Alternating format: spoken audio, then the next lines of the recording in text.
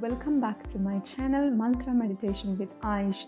In this video, we continue from where we left in the last video the permanent happiness, hmm, sorry, permanent identity.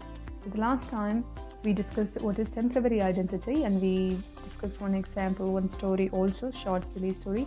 And in this video, we will talk about three analogies, okay? And one, the first one is uh, there was a lady, old lady, and she likes parrot very much, and she kept one parrot cage as well with her just for the parrot to live in.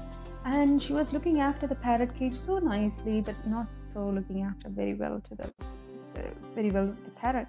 And eventually, um, you know, she started to decorate the parrot cage with golden paint and flowers and twigs and whatnot.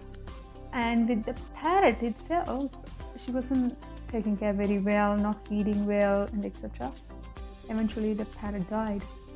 Similarly, we also think we are this body and we start to decorate our body nicely, look after the body nicely, but we tend to forget there is a supreme, not supreme, sorry, there is a spirit self within the soul that that is what need to be taken care of first, right? It's not that nothing wrong that you, you shouldn't take care of your body. Of course, we all need to take care of the body. Let me give you another analogy so that will, you know, uh, be that be related more here. So there was a driver and a car, mm, and the driver is feeding this car nicely by putting petrol, maintaining the car, engine, and parts, body parts of the car, everything so nicely. But he is not looking after himself, unfortunately.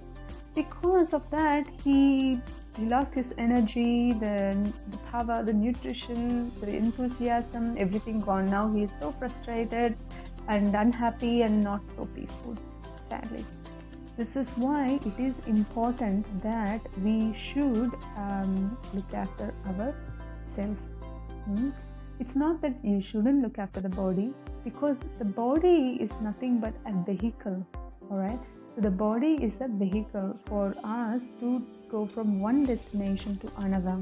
Like how driver uses the car to go from point A to point B, similarly we use this body, human body, to go to the highest destination, which is the spiritual upliftment. Okay, topmost spiritual um, perfection. Right. This should be our goal. See, whatever the goal we have in our lives, like build, building a big house, buying a big car, having you know uh, being popular having big big possessions but one day or other that will die you know that even the relationship will die and when the body dies whatever the relationship that body had around this body it will die or that will come to an end correct um, it's not that people don't remember you it will only stay in the memory but when that person also leaves that uh, their body uh, there will be no more memory either. That, that is why we should be looking after ourselves as well as the body. Mm? But more importantly, is we should understand that we are not this body, but rather we are the spirit self. And uh, there is another example also apartment and the residence, the same with other two analogies. So when you are in the apartment looking after the apartment, painting it, decorating it nicely, but you're not looking after your own self, and what happens is the place where you are living uh, where you decorated nicely and everything but it's not serving you because you're not able to do anything because you haven't looked after yourself. You are now tired and unhappy and not so peaceful right? So this is why we must take care of ourselves right? We are the spirit self. We are not this body. We are the soul. And we are eternal. We are not changing unlike the body. The body changes every day. You know the cells in the body scientifically it changes every day even um, medically it is proven every seven years entire cell of the body would be replaced by fresh new cells. That means you're fresh and new every time this cycle happens.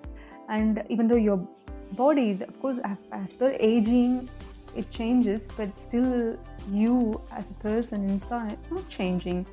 So if someone saw you when you were so little, and when they saw you uh, when you're old, they can recognize you, and because you're the same person. But where the person went, the child, where did they go? It's same, it's there, but it's just the body, the cells, right? It's a combination of calcium, phosphorus, phosphorus, uh, phosphorus magnesium, and so on and so forth. And one uh, scientist, uh, he said that his doctor, he mentioned only 120 pounds your body costs because of this much calcium. Like uh, for a 60 pound body, um, you know, 100 grams of this, 200 grams of that, calcium, magnesium, phosphorus, and etc. in your body. That is what your body made up of. Then your total body worth no more than 120 pounds and you can imagine is that all i value is that is that all i worth of course not you're worth more than that we are priceless correct your loved ones also they are priceless if i buy 120 pounds worth of calcium magnesium and uh, this and that uh, and give it to your loved one and say this is this is who and uh, this is uh, so and so person then will they be happy? Of course not. So we as a spirit self we are different from this body and we are not this body. And to get this more uh, knowledge revealed to you, please chant this Maha Mantra. Hare Krishna, Hare Krishna, Krishna Krishna, Hare Hare, Hare Rama, Hare Rama, Rama Rama, Hare Hare. So all the knowledge will be revealed to you eventually. Okay. So, but please practice this mantra meditation, and definitely you will be tracking uh, the spiritual journey very nicely. Thank you very much. Hare Krishna.